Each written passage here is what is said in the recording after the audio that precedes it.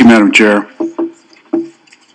In 2017, the U.S. Food and Drug Administration set a record for the most generic drug approvals in a single year, with 763. Improving access is a priority for the United States of America. True barriers to access should be addressed.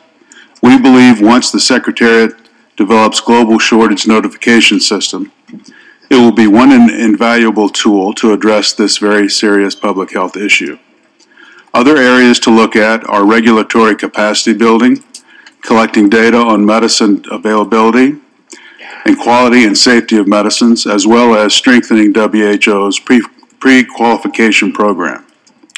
We are disappointed at other aspects of the report that propose work lacking member states' consensus going beyond WHO's mandate, specifically re relating to intellectual property, international trade, and suggesting that WHO engage in political advocacy on issues outside of its normative core functions. Each time WHO governing bodies have discussed this item, the importance of intellectual property as an incentive for innovation was affirmed.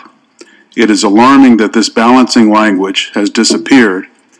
It is essential for WHO's credibility on this issue to speak to all sides and reflect continued importance of innovation and intellectual. We reemphasize that the high-level panel report is not an appropriate starting point for this discussion. It was neither requested by member states nor did it receive consensus support because its limited mandate failed to look at the problem holistically, it lacked balance, rep representation on the panel, and it ignored negative consequences that many of the re recommendations would certainly have on the global innovation system. Madam Chair, we are prepared to support the draft decision point with the understanding that it requires the, the, the, general, uh, the Director General to hold full consultations with member states to create a work plan that directs WHO's priorities on this issue over the period of 2019 through 23.